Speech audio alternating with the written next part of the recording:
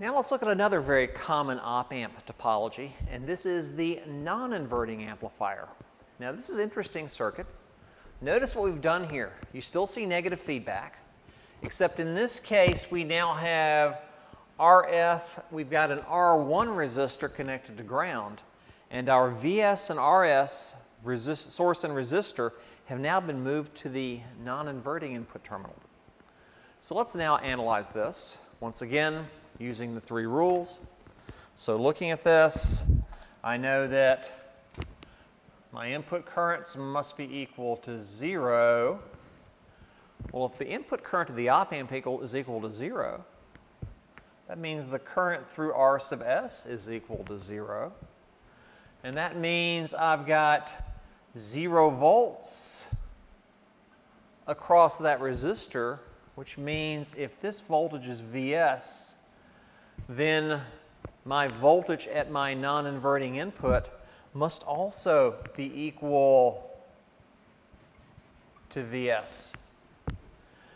And I've got negative feedback. I've got a I've got a uh, virtual short circuit.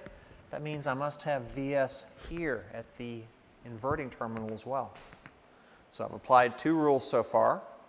And let's go and let's write KCL equations. Rule three, I don't want to write a KCL equation for VO, but I can certainly go through and write a KCL equation at the inverting input. So let's define our currents and so in this case, what we're going to get for my KCL equation at the inverting input is that 0 minus V sub S over R1 must be equal to Vs minus Vo over Rf. Rearrange some terms to bring the Vo terms on one side and Vs on the other, and what we will get is the following.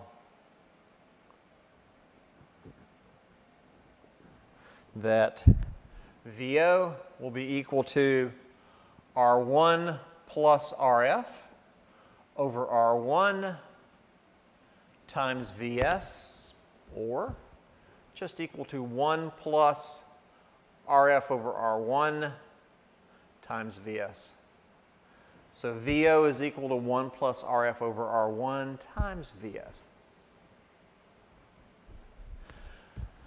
This is the equation for the non-inverting amplifier.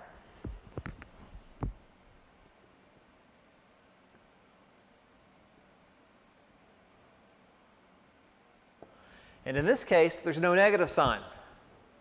In this case, the closed loop gain is equal to 1 plus RF over R1. We also note that the minimum magnitude of ACL.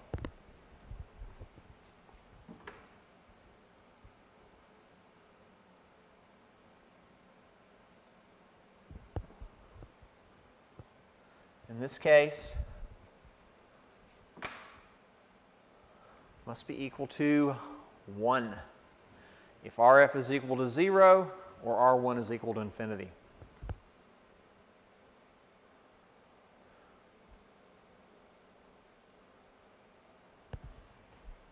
So I can't go down to a minimum magnitude of zero like I did with the inverting amplifier. I can only go down to a minimum magnitude of one.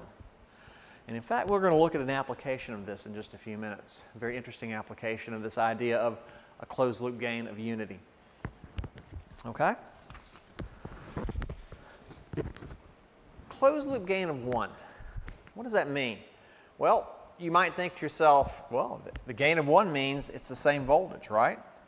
Why not use a piece of wire?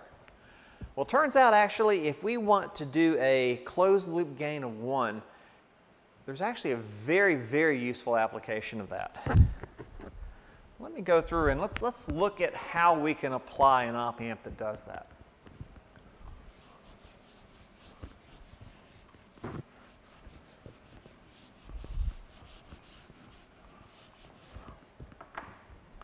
Let's say I've got the following circuit.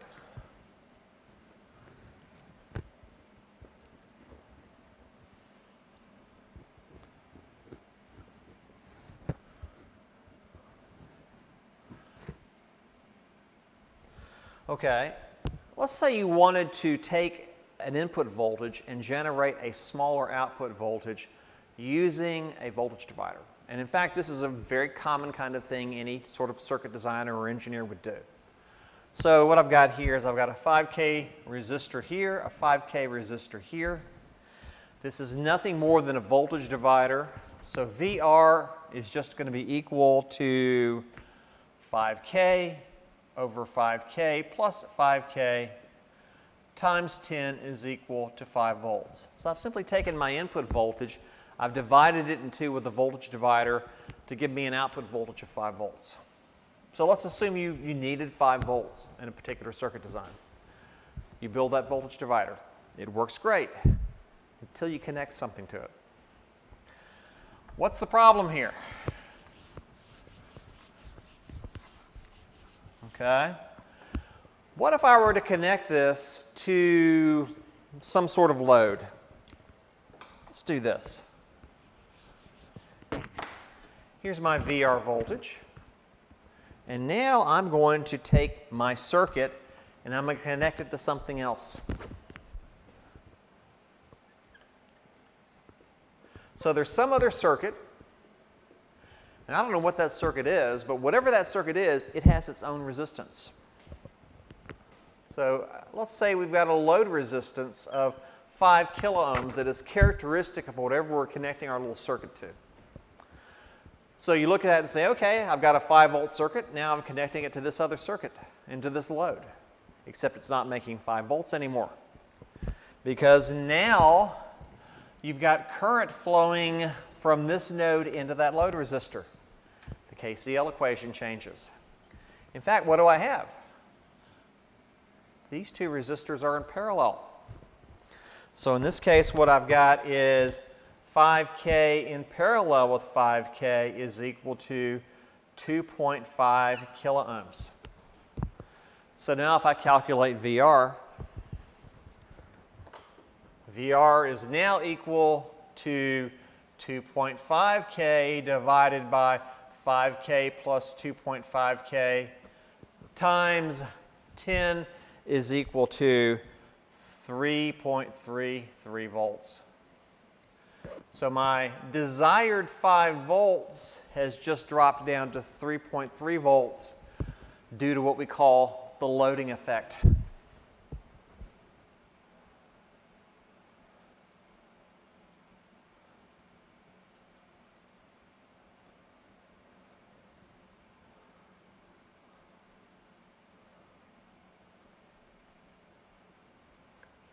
And what is the loading effect? What that says is if I connect a load to a circuit and I load this particular node and pull current out of it, I'm going to change the voltage on that node. That's what KCL tells me. It's going to change my nodal equations.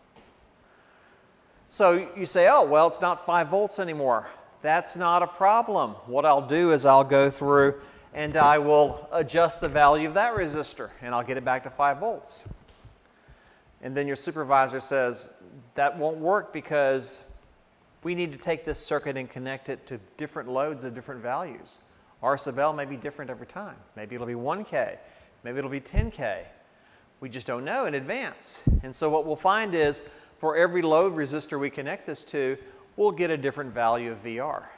And we can't design it ahead of time because we don't know what the load's going to be. So what do we do?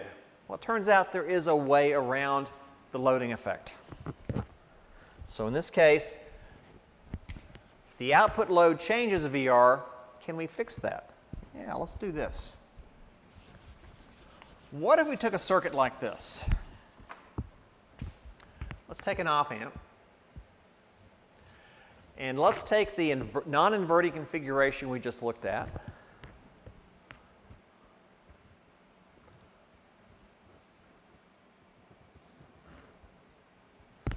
And let's go ahead and let's assume we've got Vs at the non-inverting input.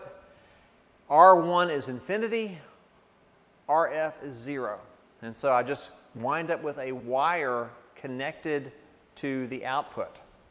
Well, in this case, I've got Vs here, Vs here, therefore VO is equal to Vs. In other words, I've got a gain of one. This is my example I was looking at a minute ago for the minimum value of closed loop gain.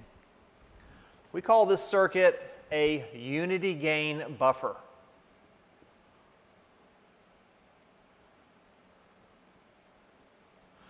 Because the gain is equal to 1. It's also sometimes called a voltage follower.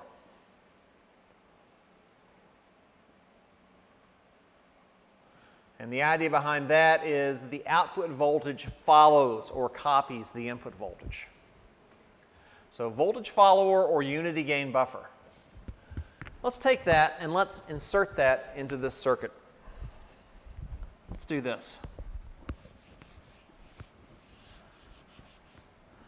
Let's take our reference circuit.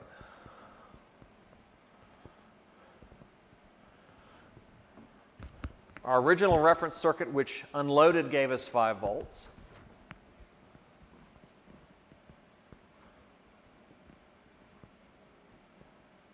And notice all I've done here is I've simply flipped this upside down.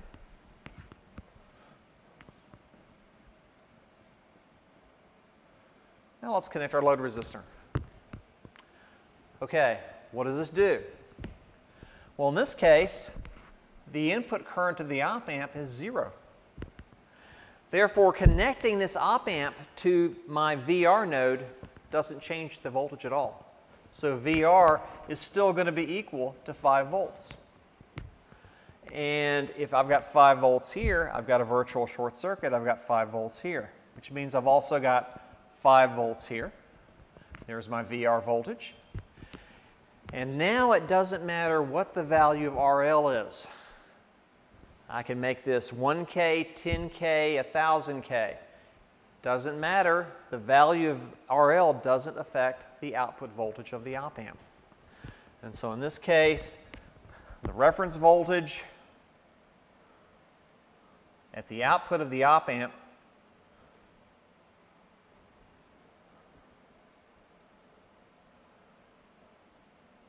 is independent of the value of R sub L.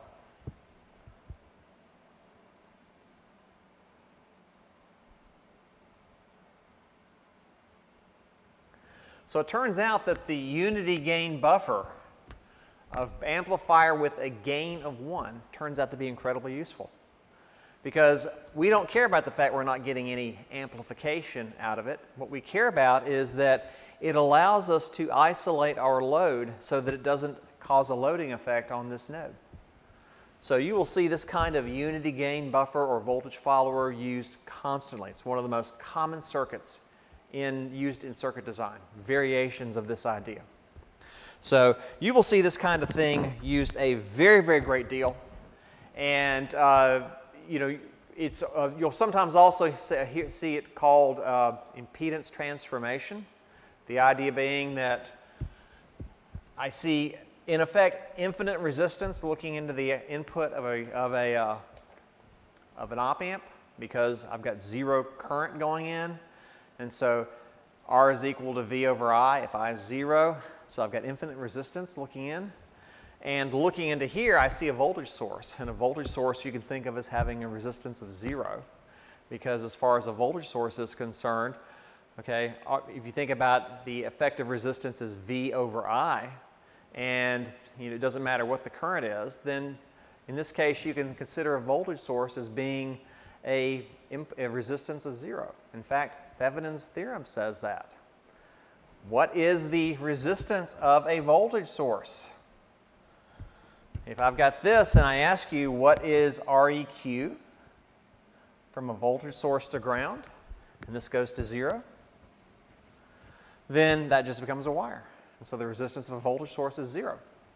Okay? So in this case, I go from a very high input resistance to a zero output resistance, very low output resistance.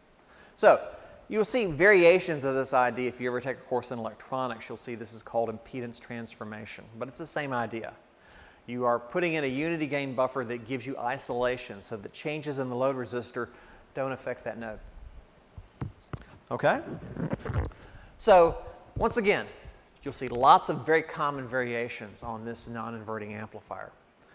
Next time we will look at some more or rather uh, a few other rather interesting different topologies and circuits that are very commonly used in, uh, in op-amp design.